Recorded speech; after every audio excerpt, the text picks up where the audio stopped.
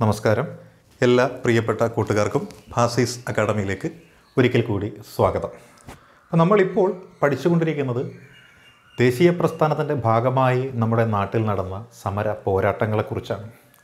അതിലേറ്റവും പ്രധാനപ്പെട്ട ഒരു ഭാഗമാണ് നമ്മൾ ഇന്നിവിടെ അനാവരണം ചെയ്യുവാൻ പോകുന്നത്. ബാലഗംഗാധര തിലകനും ഹോം റൂൾ പ്രസ്ഥാനവും. നമ്മുടെ സമരസേനാനികളിൽ പ്രഥമഗണനീയനായി പരിഗണിക്കപ്പെടുന്ന ഒരു വ്യക്തിയാണ് ബാലഗംഗാധര തിലകൻ ആ ബാലഗംഗാധര തിലകനെക്കുറിച്ചുള്ള എപ്പിസോഡാണ് ഇന്ന് ഇവിടെ നമ്മൾ പഠിക്കുന്നത്. അപ്പോൾ വീഡിയോ കണ്ടുകൊണ്ടിരിക്കുന്ന എല്ലാ കൂട്ടുകാരോടുമായി ഒരു റിക്വസ്റ്റ് ആദ്യമേ തന്നെയുണ്ട്. അതായത് ഗാലറി ആണ് ഒരു കളിക്കാരന്റെ വേഗത കൂട്ടുന്നതും കുറക്കുന്നതും. പ്രോത്സാഹനവും വിമർശനവുമാണ് ഒരു വ്യക്തിക്ക് നല്ല രീതിയിൽ വളരുവാനായിട്ടുള്ള ഒരു അവസ്ഥ സൃഷ്ടിച്ചു കൊടുക്കുന്നത്. അതുകൊണ്ട് തന്നെ നിങ്ങളുടെ വിലയേറിയ അഭിപ്രായങ്ങൾ പോസിറ്റീവാണെങ്കിലും നെഗറ്റീവാണെങ്കിലും നെഗറ്റീവ് കമന്റ് ബോക്സിൽ രേഖപ്പെടുത്തണമെന്ന് മാത്രം പറയുന്നു. അതേപോലെ തന്നെ എടുക്കുന്ന പാഠഭാഗങ്ങളുമായി ബന്ധപ്പെട്ടുകൊണ്ട് നിങ്ങൾക്ക് അധികമായി എന്തെങ്കിലും അറിയുമെങ്കിൽ അതുകൂടി കമന്റ് ബോക്സിൽ ഒന്ന് രേഖപ്പെടുത്തുക. അതോടൊപ്പം തന്നെ നമ്മൾ പഠിക്കുന്ന ഈ മേഖലയിൽ നിന്നും ചോദ്യങ്ങൾ എപ്രകാരം ചോദിക്കാം എന്നതിനെക്കുറിച്ചും ചിന്തിച്ചുകൊണ്ട് കമന്റ് ബോക്സിൽ രേഖപ്പെടുത്തി കഴിഞ്ഞാൽ അത് ഒരു വിലയേറിയ പ്രോത്സാഹന സമ്മാനമായിട്ട് എനിക്ക് അനുഭവപ്പെടുമെന്നുള്ള വിവരം ആദ്യമേ തന്നെ പ്രിയപ്പെട്ട കൂട്ടുകാരോട് പറയുന്നു. നാളിതുവരെ നിങ്ങൾ നൽകിക്കൊണ്ടിരിക്കുന്ന എല്ലാ പ്രോത്സാഹനങ്ങൾക്കും ഹൃദയത്തിന്റെ ഭാഷയിൽ നന്ദി പറഞ്ഞുകൊണ്ട് നമ്മൾ ആരംഭിക്കുകയാണ്. ബാലഗംഗാധര തിലകനും ഹോം റൂൾ പ്രസ്ഥാനവും. ബാലഗംഗാധര തിലകൻ ആയിരത്തി തൊള്ളായിരത്തി പതിനാലിലാണ് ജയിലിൽ നിന്നും പുറത്തിറങ്ങിയതെന്ന് നമുക്കറിയാം അല്ലേ? ബർമയിലെ മാൻഡലെ ജയിലിലായിരുന്നു ബ്രിട്ടീഷുകാർ തിലകനെ അടച്ചുപൂട്ടിയത്. ആയിരത്തി തൊള്ളായിരത്തി എട്ട് മുതൽ ആയിരത്തി തൊള്ളായിരത്തി പതിനാല് വരെയുള്ള ആറ് വർഷക്കാലത്തെ ഏകാന്ത തടവിന് ശേഷം ബർമയിലെ മാൻഡലെ ജയിലിൽ നിന്നും പുറത്തിറങ്ങിയ തിലകൻ ഇന്ത്യയുടെ ദേശീയ രാഷ്ട്രീയത്തിൽ സജീവമാകുവാൻ ഒരു പരിശ്രമം നടത്തി. പക്ഷേ സംഘടന കൈവശപ്പെടുത്തി വച്ചിരുന്ന മിതവാദി നേതാക്കന്മാർ അതിന് അദ്ദേഹത്തെ അനുവദിച്ചില്ല.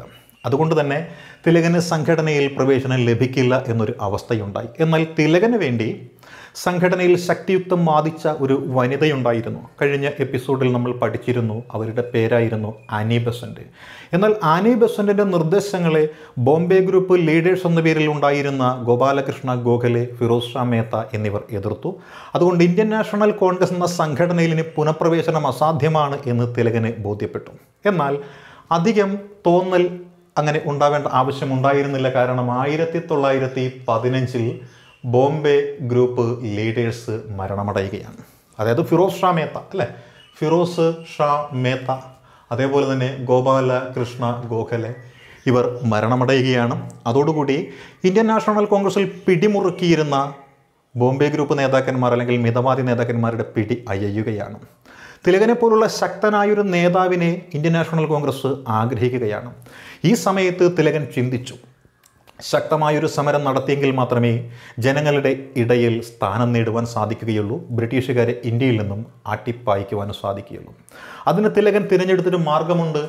ആയിരത്തി തൊള്ളായിരത്തി പതിനാല് മുതൽ പതിനെട്ട് വരെ നടന്ന ഫസ്റ്റ് വേൾഡ് വാർ ഈ ഫസ്റ്റ് വേൾഡ് വാറിൽ ബ്രിട്ടീഷുകാർ പ്രഖ്യാപിച്ച ഒരു യുദ്ധ വാചകമുണ്ട് we are fighting for democracy we are fighting for democracy ഞങ്ങൾ ജനാധിപത്യത്തിന് വേണ്ടിയാണ് യുദ്ധം ചെയ്യുന്നത് എന്നാണ് ബ്രിട്ടീഷുകാർ ഒന്നാം ലോക മഹായുദ്ധം നടക്കുന്ന സന്ദർഭത്തിൽ പ്രഖ്യാപിച്ചത്. ആ വാചകം തിലകനിങ്ങോട്ട് എടുത്തു. എന്നിട്ട് ഇന്ത്യയിലെ ജനങ്ങളോട് പ്രഖ്യാപിച്ചു. ബ്രിട്ടീഷുകാർ ജനാധിപത്യം സംരക്ഷിക്കാൻ വേണ്ടിയാണ് യുദ്ധം ചെയ്യുന്നത് എങ്കിൽ അവർ ആദ്യം ജനാധിപത്യം എന്താണെന്ന് ഇന്ത്യയിലെ ജനങ്ങൾക്ക് അത് നൽകിക്കൊണ്ട് തെളിയിക്കുകയാണ് വേണ്ടത്. To give democracy to Indians എന്നാണ് തിലകൻ പറഞ്ഞത്. ജനങ്ങൾ ഭരിക്കുന്ന ജനങ്ങളുടേതായ ഒരു ഗവൺമെന്റ് ഇന്ത്യക്കാർക്ക് നൽകിക്കൊണ്ട് ജനാധിപത്യം നിങ്ങൾ ഇന്ത്യയിലെ ജനങ്ങൾക്ക് ബോധ്യപ്പെടുത്തി നൽകൂ എന്നാണ് തിലകൻ പറഞ്ഞത്. തിലകന്റെ ഈ ആശയം ആനി ബസന്റിന് ഇഷ്ടപ്പെട്ടു? അനി ബസന്റ് ഇത് ഇന്ത്യൻ നാഷണൽ കോൺഗ്രസിൽ അവതരിപ്പിച്ചു. പക്ഷേ കോൺഗ്രസ് നേതാക്കന്മാർ തിലകന്റെ തീരുമാനമായതുകൊണ്ട് തന്നെ ഇതിനെ അംഗീകരിക്കുവാൻ തയ്യാറായില്ല.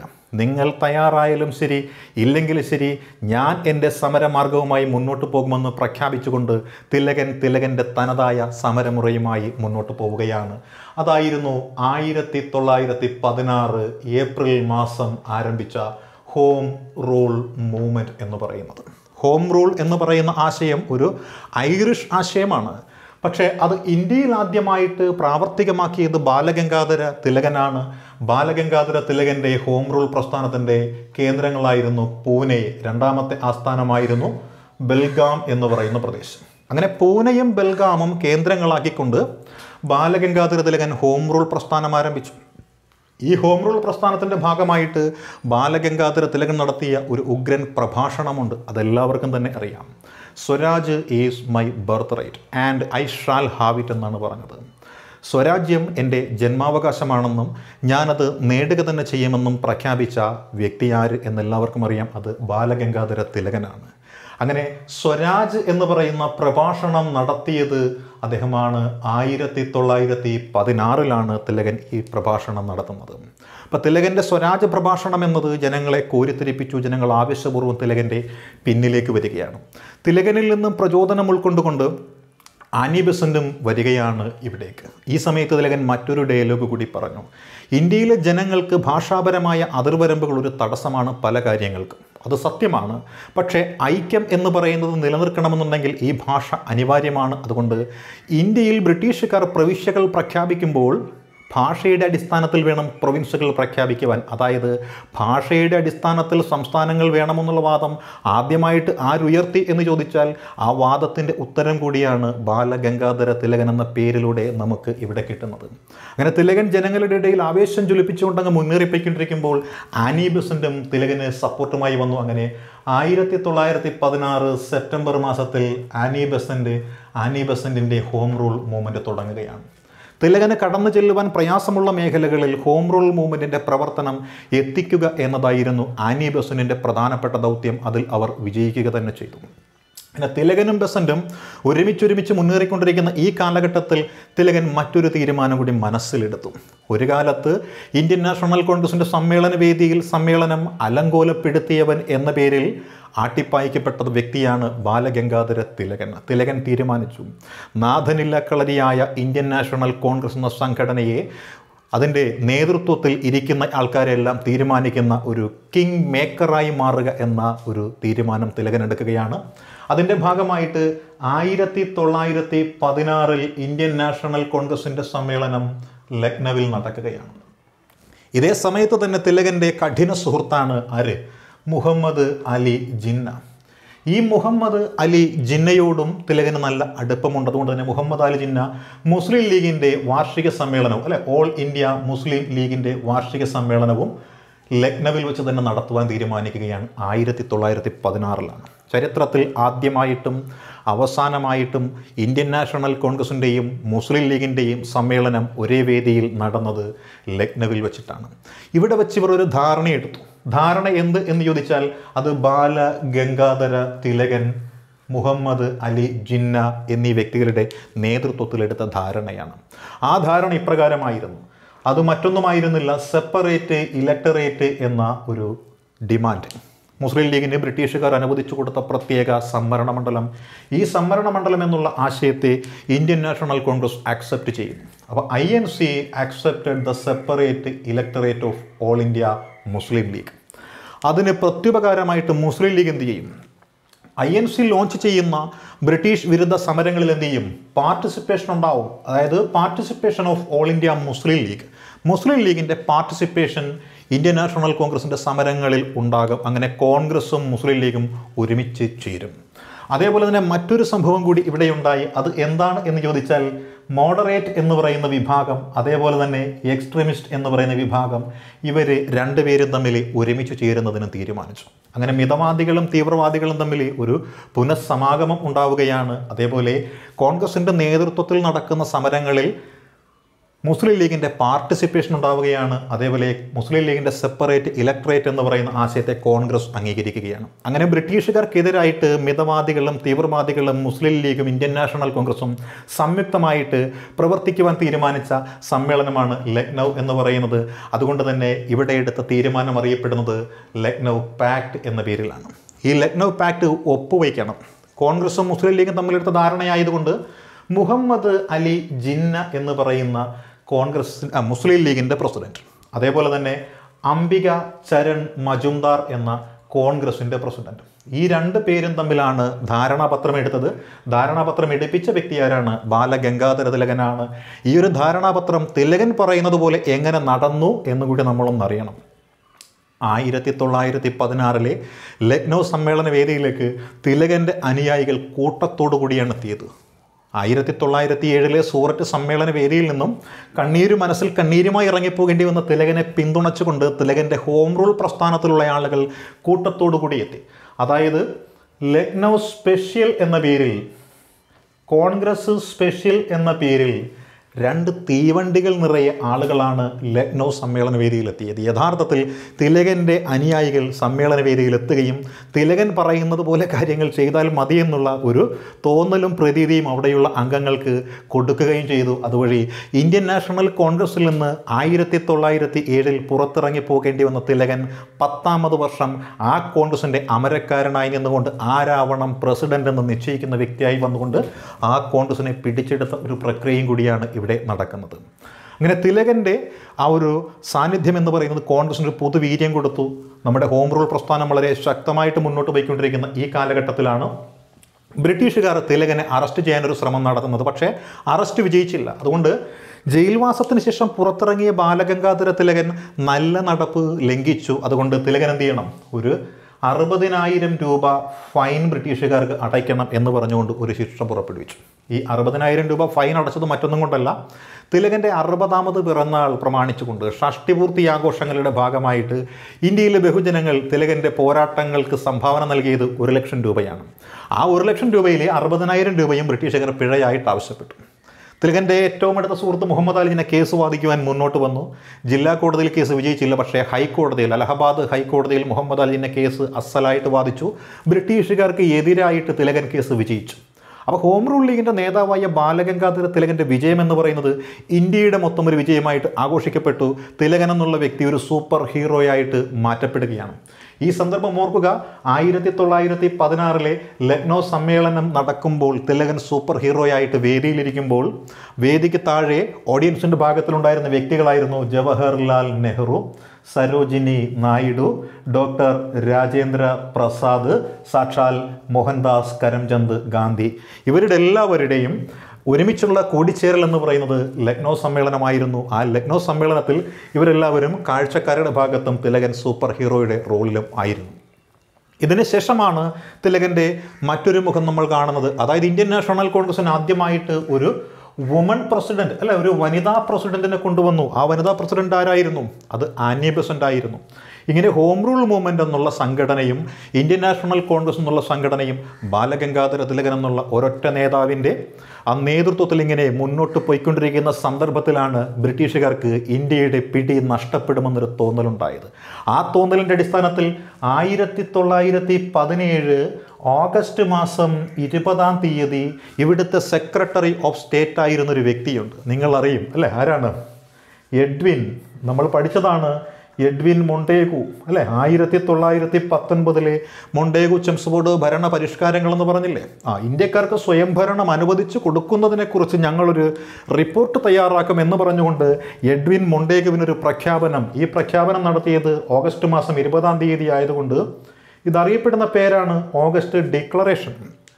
അങ്ങനെയൊരു ഓഗസ്റ്റ് ഡിക്ലറേഷൻ ബ്രിട്ടീഷുകാരെ കൊണ്ട് നിർബന്ധപൂർവം പ്രഖ്യാപിക്കുവാനായിട്ട് അവസരമുണ്ടാക്കിയ വ്യക്തിയാണ് ബാലഗംഗാധര തിലകൻ. അതുകൊണ്ട് തന്നെ ബ്രിട്ടീഷുകാർക്ക് നിരന്തരം തലവേദന സൃഷ്ടിച്ച ഒരു യഥാർത്ഥ ദേശാഭിമാനിയായ തിലകനെക്കുറിച്ച് ബ്രിട്ടീഷുകാരനായ ഒരു പത്രപ്രവർത്തകൻ. അദ്ദേഹത്തിന്റെ പേരാണ് വാലന്റൈൻ നിങ്ങൾ കേട്ട് കാണുമല്ലേ വാലന്റൈൻ ചിരോൾ എന്ന് പറയുന്ന ഒരു ബ്രിട്ടീഷ് പത്രപ്രവർത്തകൻ എന്ത് ചെയ്തു?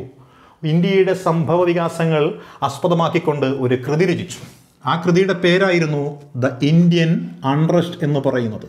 ദ ഇന്ത്യൻ അൺറസ്റ്റ് എന്ന് പറയുന്ന ഒരു കൃതി.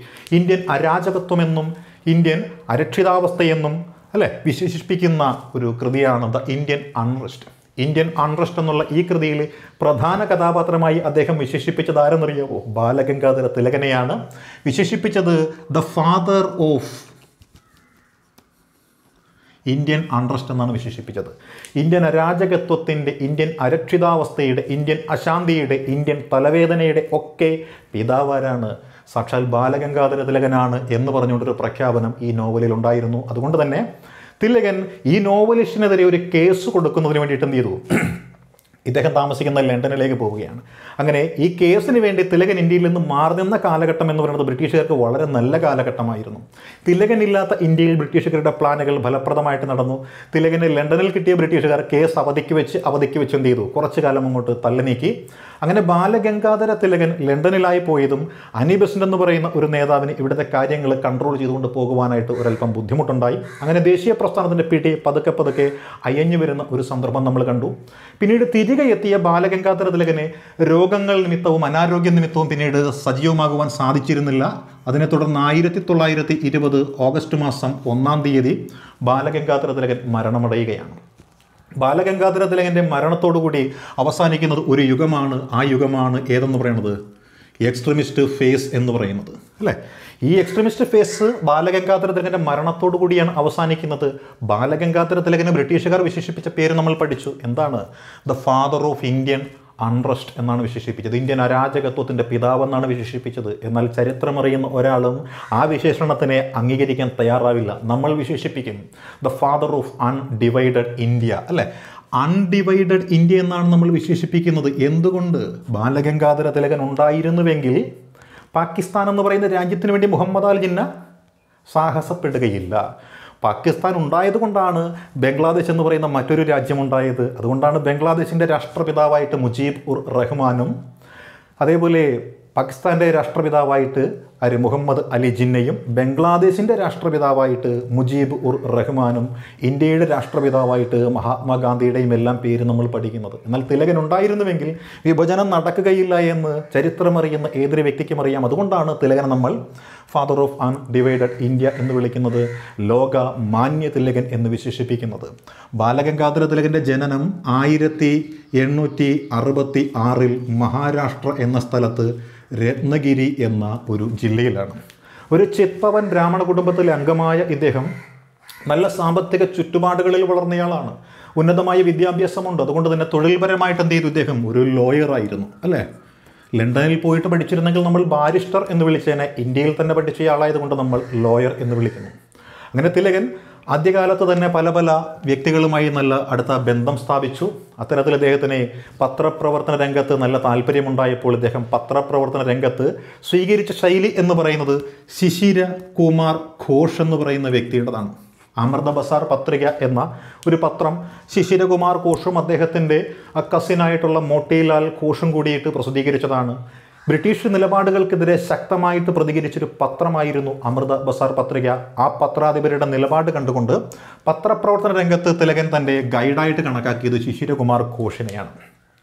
തുടർന്ന് രാഷ്ട്രീയ രംഗത്തിലേക്ക് വന്ന തിലകൻ അവിടെ ശക്തമായ ഒരു നിലപാട് സ്വീകരിക്കുന്ന മറ്റൊരു വ്യക്തിയെ കണ്ടു. അദ്ദേഹത്തിന്റെ പേരായിരുന്നു ജസ്റ്റിസ് മഹാദേവ ഗോവിന്ദ റാനഡെ എന്ന് പറയുന്ന വ്യക്തി എം ജി റാനഡെ അങ്ങനെ എം ജി റാനഡെ എന്ന് പറയുന്ന വ്യക്തിയെ രാഷ്ട്രീയ ഗുരുവായി സ്വീകരിച്ചു ആര്? നമ്മുടെ ബാലഗംഗാധര തിലകൻ ഗോപാലകൃഷ്ണ ഗോഖലയുടെയും രാഷ്ട്രീയ ഗുരുവാണ് ആര്? എം ജി റാനഡെ എന്ന് പറയുന്നത് യൂണിയൻ പബ്ലിക് സർവീസ് കമ്മീഷന്റെ ആ ഒരു ചോദ്യത്തിന്റെ ഉത്തരം പ്രകാരം എന്താണ്? വെസ്റ്റേൺ ഇന്ത്യയിലെ സോക്രട്ടീസ് എന്ന പേരിൽ അറിയപ്പെടുന്നയാളാണ് ആര്? എം ജി റാനഡെ എന്ന് പറയുന്നത്. അപ്പോൾ എം ജി റാനഡെ അതായത് ഗാന്ധിജിയുടെ രാഷ്ട്രീയ ഗുരുവാണ് ആര്? ഗോഖലെ. ഗോഖലേക്ക് കൊണ്ടൊരു രാഷ്ട്രീയ ഗുരു ആര്? റാനഡെ. അപ്പോൾ സോക്രട്ടീസിനെ നമ്മൾ ആദ്യത്തെ ചിന്തകനായിട്ട് കണക്കാക്കുമ്പോൾ ഗോഖലേക്ക് മുൻപ് ആരുണ്ട്? ഒരു ചിന്തകനുണ്ട്. ആ ചിന്തകനാണ് റാനഡെ. അതുകൊണ്ടാണ് the Socrates of western India എന്ന് റാനഡെ അറിയപ്പെടുന്നത്. ആ റാനഡയുടെ ശിഷ്യൻ തന്നെയായിരുന്നു ആരും? തിലകനും. തിലകന്റെയൊക്കെ ശ്രമഫലമായിട്ട് എന്ത് ചെയ്തു? തിലകനൊക്കെ ഒരു സ്കൂളൊക്കെ വളർത്തിയെടുക്കാൻ മുൻകൈ എടുത്ത ആളാണ്. അതിന്റെ പേരാണ് ദ ന്യൂ ഇംഗ്ലീഷ് സ്കൂൾ എന്നാണ് പറയുന്നത്. അങ്ങനെ ന്യൂ ഇംഗ്ലീഷ് സ്കൂൾ എന്ന പേരായ ഒരു സ്കൂൾ തിലകനൊക്കെ മുൻകൈ എടുത്ത് വളർത്തിയെടുത്തു. ഈ സ്കൂൾ പിന്നീട് കോളേജായിട്ട് മാറി. ഇപ്പോഴത് അറിയപ്പെടുന്ന പേരാണ് ഫുർഗൂസൺ കോളേജ് പൂനെ എന്നാണ് അറിയപ്പെടുന്നത്. അപ്പോൾ പൂനെയിൽ ഫുർഗൂസൺ കോളേജ് തിലകന്റെയൊക്കെ നിരന്തരമായ ഇടപെടലിനെ തുടർന്ന് വളർന്നു വന്നതാണ് നമുക്കറിയാം. അതേപോലെ ജി ജി അഗാർക്കറിനെ പോലെയും ചിപ്ലുങ്കറിനെ പോലെയുമുള്ള വ്യക്തികളൊക്കെ ആയിട്ട് തിലകന് അടുത്ത ബന്ധമായിരുന്നു. അവരുടെയൊക്കെ നേതൃത്വത്തിലുണ്ടായിരുന്ന രണ്ട് പത്രങ്ങളുണ്ട്. ഒന്നിന്റെ പേര് കേസരി എന്നാണ്. അല്ലേ? കേസരി എന്ന് പറയുന്നത് മറാഠ ഭാഷയിലുള്ളൊരു പത്രമാണ്. അടുത്ത ഒരു പത്രമുണ്ട്. പത്രത്തിന്റെ പേര് ദ മറാഠ എന്നാണ്. ദ മറാഠ. മറാഠ എന്നുള്ളത് ഇംഗ്ലീഷ് പത്രമാണ്. ഇവരുടെ മരണശേഷം തിലകനാണ് പത്രത്തിന്റെ നേതൃത്വത്തിലേക്ക് വരുന്നത്. അതുകൊണ്ട് നമ്മൾ പഠിക്കുന്നു കേസരിയും മറാഠയും തിലകന്റെ പത്രങ്ങളായിരുന്നു എന്ന് നമ്മൾ പഠിക്കുന്നു.